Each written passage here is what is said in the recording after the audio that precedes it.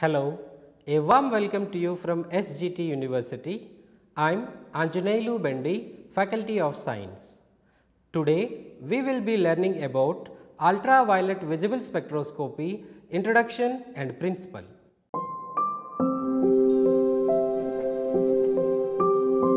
In this video, you will learn history of ultraviolet and visible light, principle of ultraviolet visible spectroscopy, the nature of electronic excitations, selection rules of electronic excitations, and the origin of UV band structure.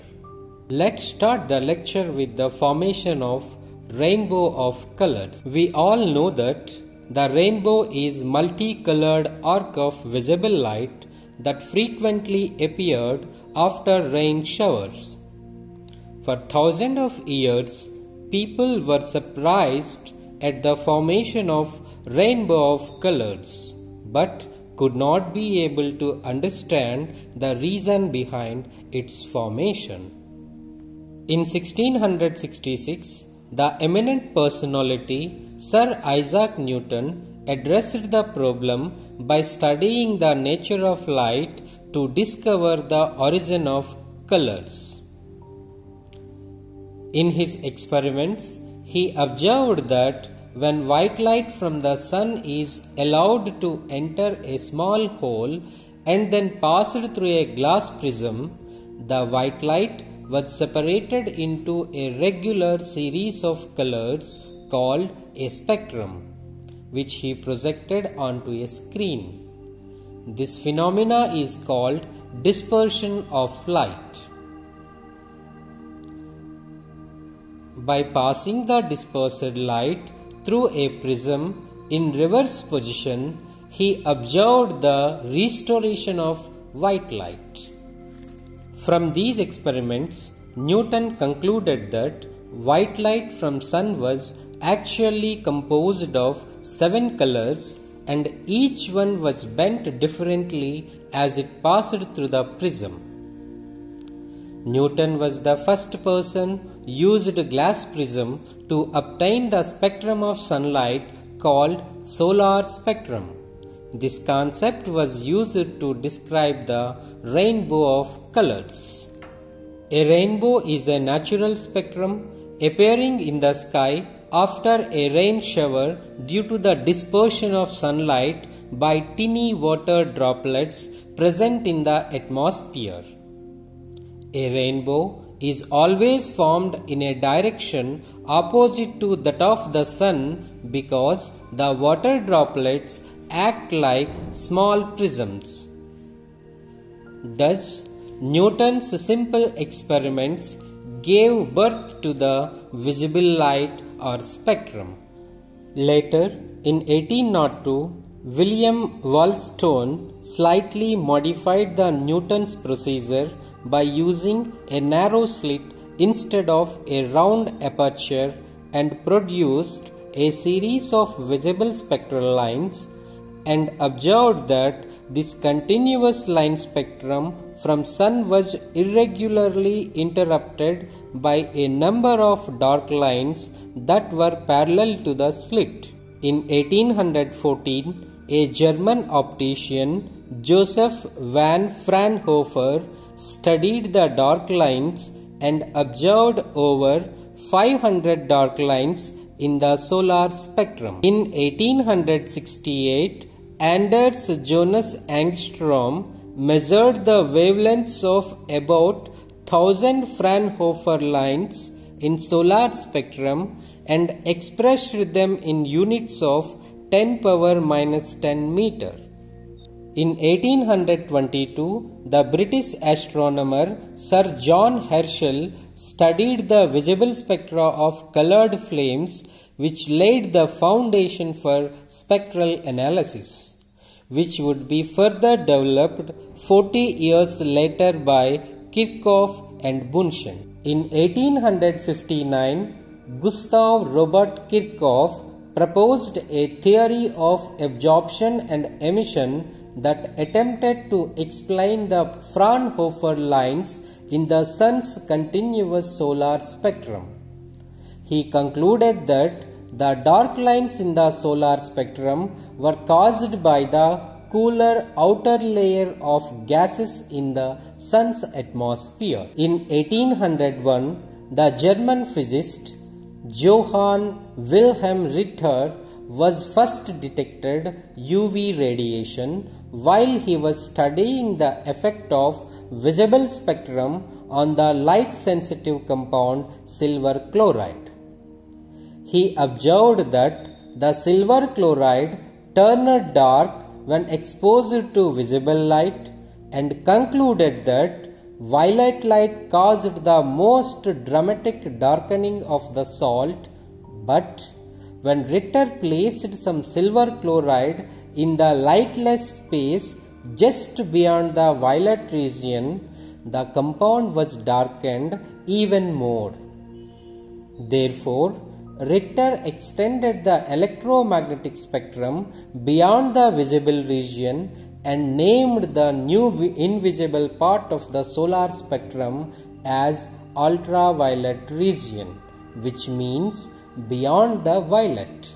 Ultraviolet visible spectroscopy is the study of electronic transitions of the molecules by irradiating with UV visible range of radiations. The ultraviolet region extends from 10 to 400 nanometer in electromagnetic spectrum, which is subdivided into three regions UVA, UVB and UVC.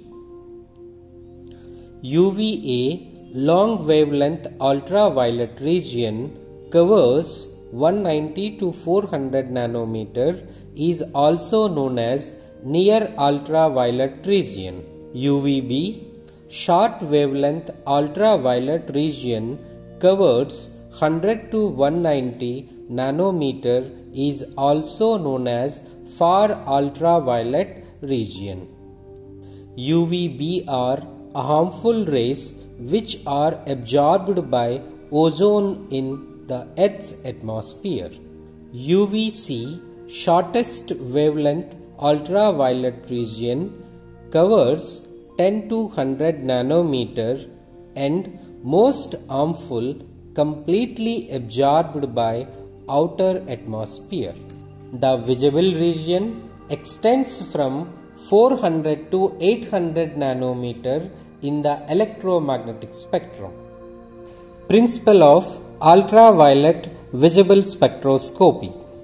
Whenever ultraviolet or visible radiation is passed through the solution of organic compound, it is either absorbed or transmitted based on its wavelength and molecular structure of the organic compound. When an organic molecule absorbs ultraviolet or visible radiation, an electron is promoted from an occupied orbital in the ground state to an unoccupied orbital in excited state of greater potential energy called electronic transition. Generally, the most probable transition is from the highest occupied molecular orbital to the lowest unoccupied molecular orbital. The energy difference between electronic levels in most of the molecules vary from 125 to 650 kilojoule per mole.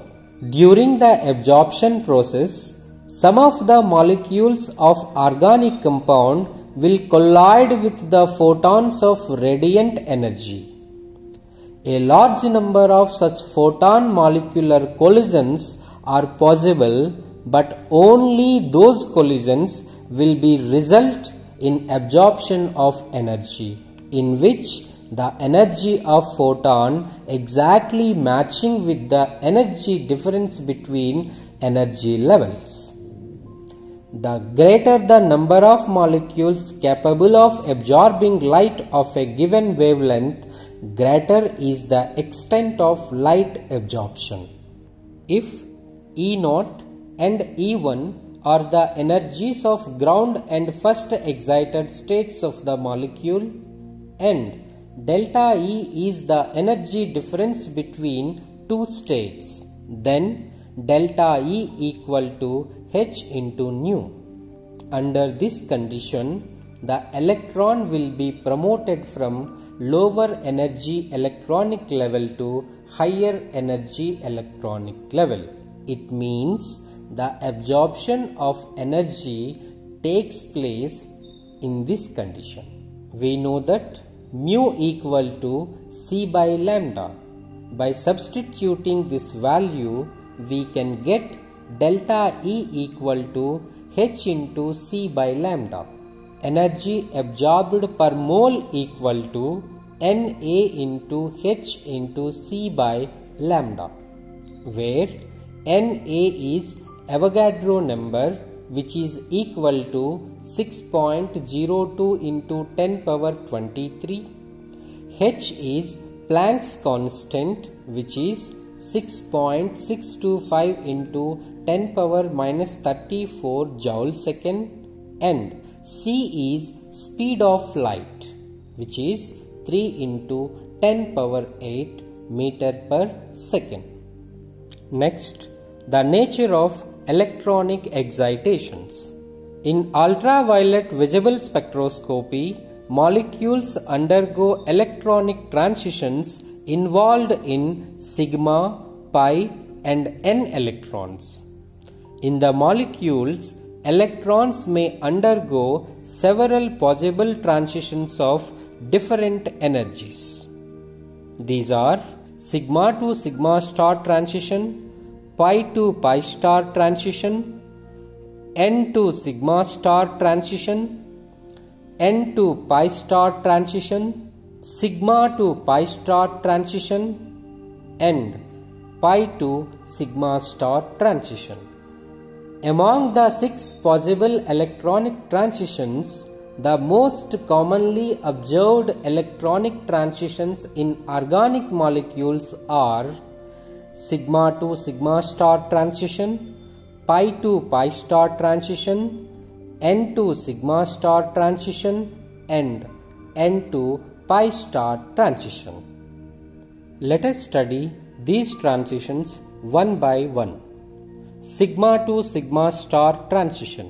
Transition in which an electron is excited from sigma bonding molecular orbital to sigma star anti-bonding molecular orbital called sigma to sigma star transition. We know that the energy difference between sigma bonding molecular orbital and sigma star anti-bonding molecular orbital is very large. So, these type of transitions require very high energy and thus absorb ultraviolet radiation of very short wavelength. Generally, sigma to sigma star transitions are shown by saturated hydrocarbons, that is, alkanes. Sigma to sigma star transitions are of less importance because of their high energy. N to sigma star transition. Transition in which an electron from non-bonding molecular orbital is excited to sigma star anti-bonding molecular orbital called N to sigma star transition. N to sigma star transitions shown by the saturated compounds containing heteroatoms with lone pairs like oxygen, nitrogen, sulfur, and halogens. These transitions usually require less energy than the sigma to sigma star transition. Pi to pi star transition. Transition in which an electron is excited from pi bonding molecular orbital to pi star anti-bonding molecular orbital called pi to pi star transition. Pi to pi star transitions are shown by the compounds containing double bonds and triple bonds. that is alkenes, alkynes, carbonyl compounds and azo compounds. N to pi star transition transition in which an electron from non-bonding molecular orbital is excited to pi star anti-bonding molecular orbital called N to pi star transition. N to pi star transitions shown by the compounds containing double bonds or triple bonds with heteroatoms like oxygen, nitrogen, sulfur, etc. Generally, these transitions observed in carbonyl compounds. These transitions usually require minimum energy and show absorption at longer wavelengths with low intensity. N to pi star transitions are symmetric forbidden because n and pi star orbitals are not present in same plane. Next, selection rules. We know that when an organic molecule absorbs ultraviolet or visible radiation, an electronic transition takes place between the lower and higher energy electronic levels. The electronic transitions governed by the certain quantum mechanical restrictions called selection rules. Selection rules determine the probability of electronic transition. Electronic transitions with retention of spin-off electrons are allowed. With inversion of spin-off electrons are forbidden. Electronic transitions with retention of multiplicity is allowed. With change in the multiplicity is forbidden. The origin of UV band structure. The UV visible absorption in molecules is usually occurs over a wide range of wavelengths because the molecules have many excited modes of vibration and rotation during the electronic transition at room temperature. The energy difference between these levels are considerably smaller than those of electronic levels.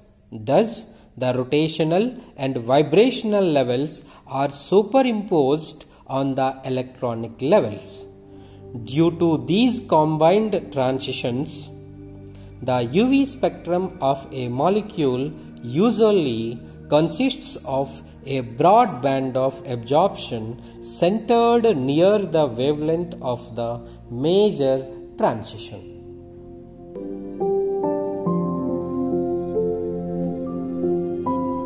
So, today we covered ultraviolet visible spectroscopy, introduction and principle and the next time we meet, we will be exploring absorption loss.